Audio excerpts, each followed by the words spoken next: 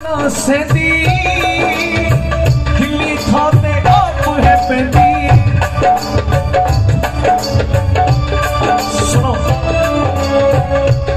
बार एक बादशाह, जिन्हों बड़ा हंकार बड़ा कमांड आ गया कि मेरे को हर तरह की ऐशो आराम वाली ज़िंदगी है मेरे को हर तरह की धन दौलत है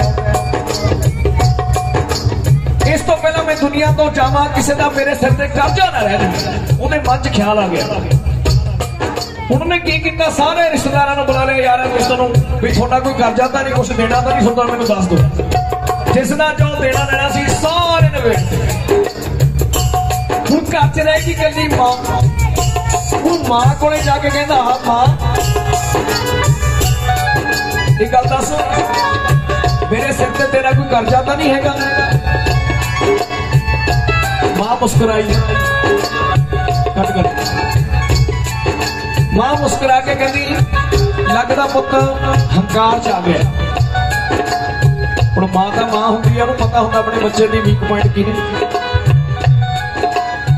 ਉਸ ਬਾਦਸ਼ਾਹ ਨੂੰ ਸੀ ਮਾਂ ਕਹਿੰਦੀ ਤੂੰ ਮੇਰੇ ਕਰਜ਼ੇ ਦੀ ਗੱਲ ਕਰ ਰਿਹਾ ਵੀ ਮੈਂ ਤੇਰਾ ਕਰਜ਼ਾ ਤੂੰ ਮੇਰਾ ਕਰਜ਼ਾ ਕੀ ਲਾਹੇਗਾ ਚਲੇ ਕਰ ਤੂੰ ਅੱਜ ਦੀ ਰਾਤ ਮੇਰੇ ਕੋਲੇ ਸੌ ਜਾ ਤੂੰ ਮੇਰਾ ਪੁੱਤ ਹੈ ਪੁੱਤ ਜਿੱਦਾਂ ਮਰਜ਼ੀ ਹੋ ਜਿਹੜੀ ਮਾਂ ਮਾਂ ਲਈ ਤਾਂ ਬੱਚਾ ਹੈ ਇੱਕ ਕੰਮ ਕਰ ਅੱਜ ਦੀ ਰਾਤ ਮੇਰੇ ਨਾਲ ਮੇਰੇ ਬੈੱਡ ਤੇ ਸੌ ਜਾ ਮੇਰੇ ਬਿਸਤਰ ਤੇ ਸੌ ਜਾ ਮੇਰਾ ਕਰਜ਼ਾ ਖਤਮ ਫਿਰ ਤੂੰ ਫ੍ਰੀ ਮਾਈਂਡ ਹੈ ਹੁਣ ਜਦੋਂ ਪੁੱਤ ਨੇ ਕਮਰੇ ਵਿੱਚ ਆਉਣਾ ਸੀ ਮਾਂ ਨੇ ਕੀ ਕੀਤਾ ਜੱਗ ਭਰ ਕੇ ਪਾਣੀ ਦਾ ਨਾ ਮੰਜੇ ਦੇ ਬੈੱਡ ਤੇ ਗੱਦੇ ਤੋਂ ਪਰੇਦਾ ਬਖੇਰਦਾ ਅੱਧਾ ਗੱਦਾ ਗਿੱਲਾ ਕਰਦਾ ਤੇ ਮਾਂ ਨੇ ਕੀਤਾ ਸੁੱਕੇ ਪਾਸੇ ਪਾਸਾ ਲੈ ਕੇ ਸੌਂ ਗਈ ਹੁਣ ਰਾਜਾ ਆਇਆ ਦੇਖਿਆ ਮਾਂ ਤਾਂ ਸੌਂ ਗਈ ਵੀ ਮਾਂ ਦਾ ਕਰਜ਼ਾ ਵੀ ਲਾਉਣਾ ਕੀ ਕਰਾਂ ਉਹਨੇ ਕਿਹਾ ਵੀ ਮੇਰੇ ਕੋਲੇ ਸੌ ਜਾ ਰਾਜਾ ਜਦੋਂ ਪੈਣ ਲੱਗਿਆ ਗੱਦੇ ਤੇ ਹੱਥ ਰੱਖਿਆ ਗੱਦਾ ਗਿੱਲਾ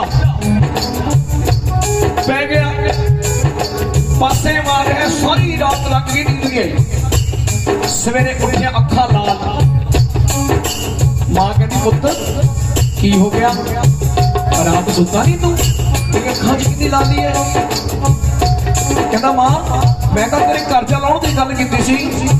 ਮੈਨੂੰ ਉਹ ਗੱਲ ਸਮਝ ਨਹੀਂ ਆਈ। ਮਾਂ ਮੁਸਕਰਾ ਕੇ ਕਹਿੰਦੀ, ਪੁੱਤ, ਇਹੀ ਤਾਂ ਗੱਲ ਹੈ। ਤੂੰ ਸਾਰੀ ਦੁਨੀਆ ਦਾ ਕਰਜ਼ਾ ਲਾ ਸਕਦਾ ਪਰ ਮੇਰਾ ਕਰਜ਼ਾ ਨਹੀਂ ਲਾ ਸਕਦਾ। ਇੱਕ ਰਾਤ ਕੱਟਣੀ ਤੈਨੂੰ ਮੇਰੇ ਨਾਲ ਦੁੱਬਰ ਹੋ ਗਈ। ਇੱਕ ਰਾਤ ਚ ਤੂੰ ਔਖਾ ਹੋ ਗਿਆ। ਤੂੰ ਸੋਚ ਜਦ ਮੈਂ ਤੈਨੂੰ ਜਨਮ ਦਿੱਤਾ ਤੇਰੇ ਜਨਮ ਤੋਂ ਲੈ ਕੇ ਤੇਰੇ ਪਾਲਣ ਪੋਸ਼ਣ ਤੱਕ ਘੱਟੋ ਘੱਟ ਤਿੰਨ ਚਾਰ